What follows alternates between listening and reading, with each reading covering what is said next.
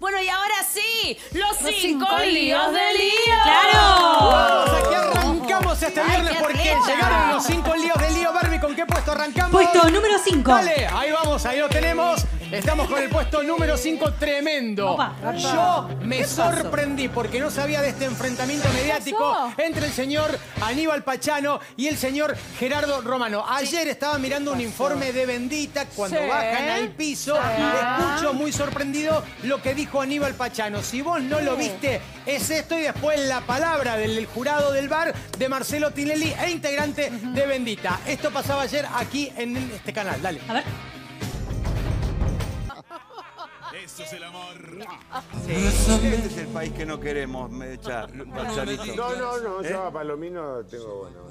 Con el otro ¿Y no. cómo con el otro? El otro. Ni lo qué nombró, el ¿Qué otro. pasa con Romano que no sabemos? Insoportable. ¿Por ¿Cuál es la qué? interna, la grieta ahí? La grieta hubo hace años, viene. ¿Lo viste? Escucha, ¿pero hubo algo personal o no te cae bien por un peronista? poquito personal hubo. Durante mis separaciones. Ah, Actorazo ¿se la los dos. levantar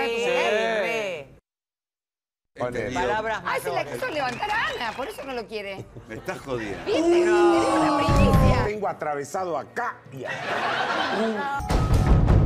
Celoso, Bueno, le- celoso. les cuento, les cuento un poquito. Ayer Te estaba amo, mirando te amo. el programa y le digo a Mecha, cuando veo que se van al corte, le digo, Mecha, hacele un video, que está- estaba Carlita también ayer, le digo, hacer un video a Aníbal y que nos cuente un poco más de dónde viene esta historia. Este, enfren- este Eh, enfrentamiento. Claro, entonces Mecha, corresponsal de lujo, Sí. obviamente, eh, fue a feo, buscarlo a qué feo Pachano. que se lo pediste a Mecha no me lo. No, porque Hay Podría Carlita, hay vos. No, es que Habla mal de vos. Es que lo, lo tenía al lado Mecha, ¿no? ¿Vos crees que era no más, en vos? Era más fácil pedírselo a Mecha. bueno, Tenía ganas de escribir la Carla me "Ni parece que a acá no te es más un quilombo que se merece su propio puesto en el ranking de vida. A mí me parece. La grieta de todas las tardes. Habló Aníbal Pachano y después tratamos de desentrañar un poco qué hay detrás de esta profunda grieta entre Pachano y Romano. Habló Pachano. Pachano, bueno, me dejaste helada. ¿Qué es lo que pasa con...? ¿Por qué le tenés bronca a Gerardo Romano? Porque es un pelmazo. Ah, Para mí es un pelmazo. Pero, pero te quiso... Ya me peleé en la televisión varias veces, Ah. discutimos, me tuve que ir en un móvil, un pesado. ¿Pero hay una cuestión ideológica o tiene que ver...? Aparte, aparte. Pero aparte, te, te- ¿qué pasó? ¿Te quiso levantar a... ¿La No quiso sé, levantar hubo, Ana? Hubo ahí, no, no, no sé si la quiso levantar. Ah. Pensé que presentó a un personaje en su momento, ¿Ah, en mi sí? separación. Ah, o sea, vos te estabas separando y el tipo te quería sacar... No, le, pre- le presentó a un amigo, no sé qué. Me canchereaba. Ah, Anda a cancherear a tu abuela. Álvaro de Graver. A ver, No es serio igual. a ver.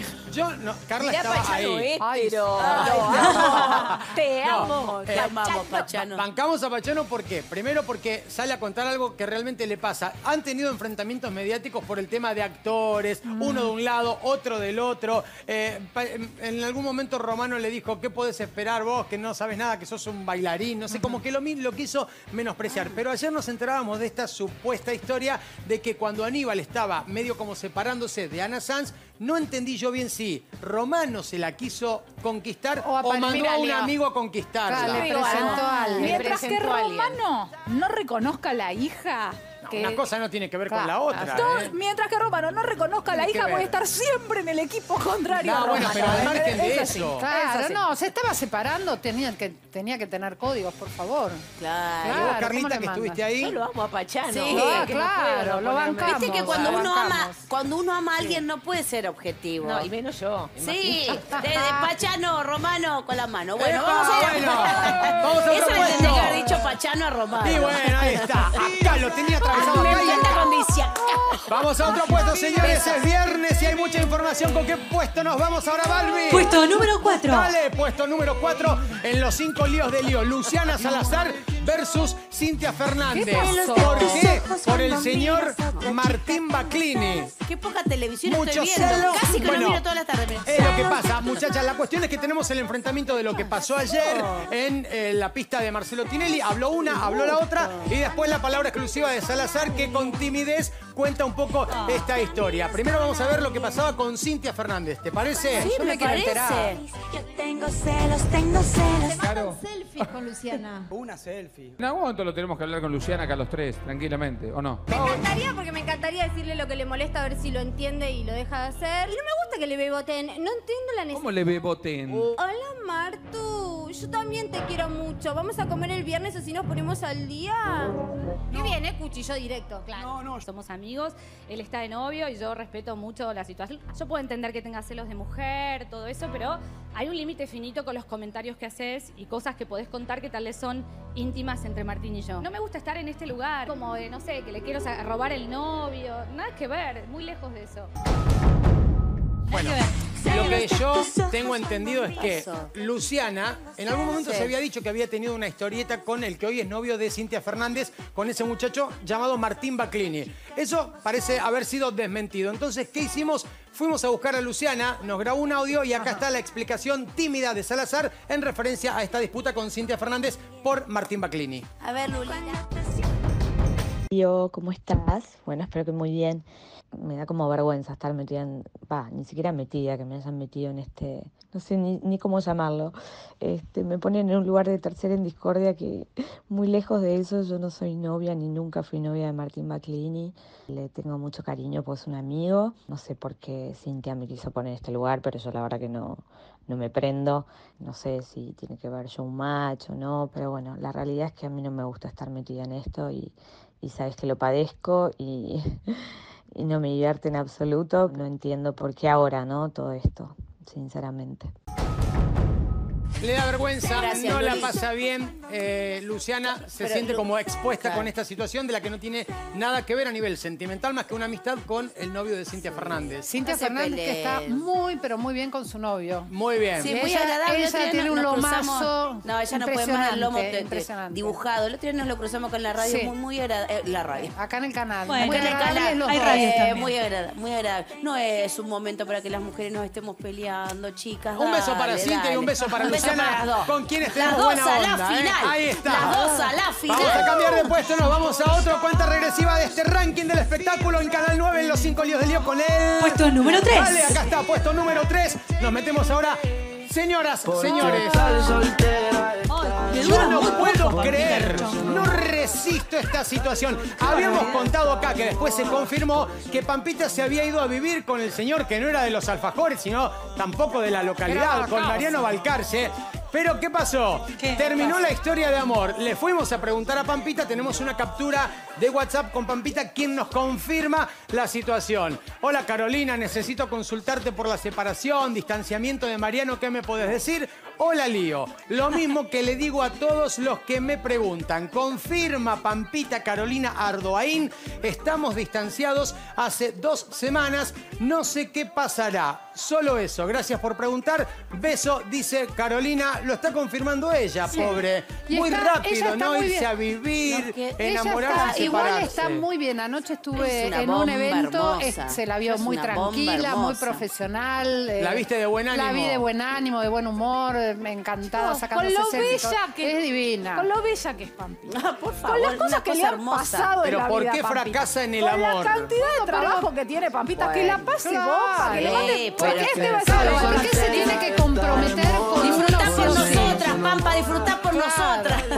fracasa, Carla? Para mí no, Fracaso. para mí no fracasa, te enterás. Sí. Si hubieras, No. si, si supieras todos con todos los que fracasaron. Claro. Por ahí está muy Es expuesta, que el no tema sé. es eso, que pobre, no puede ir a ningún lado porque ya le enchufan novio, cosas. No, pero Yo he nosotros acá 24 contamos horas. No es nada para que Pampita. estaba de novia, no. y, pero cuando vos apostás a la convivencia en tan Sí. corto tiempo y después salís a contar esto, bueno, Bueno, ella sabrá, es grande y que haga lo que Ah, quiera, Sí, ¿no? disfrute. Pampa, Ay, ap- disfrute. aparte, si no funciona, mejor que termine cuanto antes. Que Sí. más Si no, vale. que le diga Muy buena adiós, pampa mía. Sí.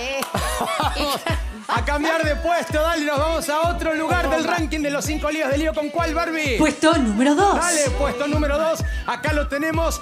Bueno, acá tenemos. ¿Y Rodi? Cristina Pérez se olvidó de Rodolfo Barili y presentó a su nuevo novio. Les quiero decir algo. Bien, Hablé hoy con Cristina. Es difícil porque no puedo mostrar lo que me escribió, pero sí les digo Las que está por ella, 100% confirmado el romance de Cristina Pérez con este muchacho que estamos viendo. Hoy lo puse Bien, 9.57 Cristi, ¿eh? para los que me preguntan Cristina Pérez con Joel Fregue. Les digo, lo tengo 100% confirmado con los protagonistas porque así me lo contó ella esta mañana. Está saliendo con este hombre que parece que tiene unos músculos muy fuertes, muy potentes. Eso, ¿Otro tiene pinta es? de rugby. Sí, no sé si tenemos algunas imágenes de él ¿Qué, sabemos de él, además de que está buenísimo? Que está muy Sí. joven. Que es Parece un empresario joven. fortachón más Bien. joven que ella. Una, una salida cultural, evidentemente, pues están en el Teatro Hermoso. Colón, Sí. se veía Hola. recién la sala, el telón, Bien, todo, ¿eh? así que muy buena salida. Entre Barili y Joel, ¿con quién se quedan? Marili, Marili. Buena pregunta. Dale, Carlita, déjate Ella hinchar. nunca Con Cristina. a Barili. Es hermosa Ella es su Cristina. foto, chicos, la foto que estamos viendo Y Barili por no. favor. Bueno, Me pero. gusta Barili. ¿Cuál Barili con ese bozarrón, digo. ¿Hace, cuánto, hace me cuánto saldrán? ¿Viste Lo importante es que le esté pasando bien, que con ese lomo Camilo se se le está pasando divino. Lo bien que ha comido. Sí. Cristina. Y calladita, calladita. Por favor, lo que es saber El con muerto comer se asusta del degollado. Siempre discreta, ¿viste? Bien, bien Cristina. Bueno, que sean felices. Sí, que sean felices y coman perdices la y traigan bien. hijos al mundo y que Por lo menos vivan que la la vida, ¿eh? Vamos a seguir recorriendo el ranking, es viernes, nos queda un lugar más y un bonus track. ¿Con qué puesto Barbie? Puesto número uno. Dale, puesto número uno. Acá lo tenemos. Miguel Ángel Cheruti, más complicado que nunca. Ahora lo denuncia Majo Dupré. Esta mujer que vamos a ver ahora, presten atención, es un material exclusivo, le pasó hace unos años y decidió contar el momento horrible de acoso que eh, recibió eh, por parte de Miguel Ángel Cheruti. Documento exclusivo en todas las tardes, mirá. Hola Lío, ¿cómo estás? Acá Majo Dupré desde Uruguay. Estuve mirando tu Instagram y vi algo que me llamó mucho la atención con respecto al tema de Cheruti. Él me había ofrecido eh, trabajo por sexo. Una, viste, cuando recién comienza, estás que sí, que no, que sí, que no. Y en, esa, en ese elenco estaba María Marta Serralima, Ileana Calabroa. Nunca quiso que yo fuese a su oficina, vino dos veces a mi casa y mm, accedí. Cuando pasó todo la negociación, vamos a decir así, se fue y se fue también con él el contrato. Pero él tiene algo muy, muy particular en su cuerpo, eh, que su mujer sabe. No voy a presentar una denuncia, ya te digo, se fue, esto fue hace más de 10 años creo, pero sí quiero que esta chica haga, haga justicia. A ver, es llamativo porque es otra denuncia más en contra de Miguel Ángel Cheruti que no quería hablar, pero después termina hablando. No entiendo por qué no quiso hablar con nosotros, que tenía su derecho a réplica, ni más ni menos. Pero lo que dice Majo Dupré muy delicado. es que ella accedió a esa propuesta indecente porque fue sexo a cambio de trabajo y además internamente me contó algo muy personal de sus partes íntimas, de su miembro viril, que ella dice, esto es así y su mujer lo sabe, por eso la que cuenta cómo es su miembro viril, como yo que estuve, que estuve con él, eh, puedo acreditar que esto es real. ¿eh? Bueno, otra denuncia más, así que vamos a ver qué dice la justicia. Todo está en manos de sus abogados y Cheruti de esto se entera ahora que Majo lo, sabe, que Majo lo sale a contar. ¿eh? Sí, no, que yo no tuve. No, no, vos no, Majo Dupré, que Bastante veíamos problema recién. tengo yo.